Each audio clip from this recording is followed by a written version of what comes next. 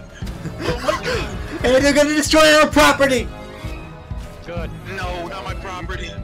Our property tax is gonna go fucking skyrocketing. get him! Y'all have insurance. I killed him! Oh wait!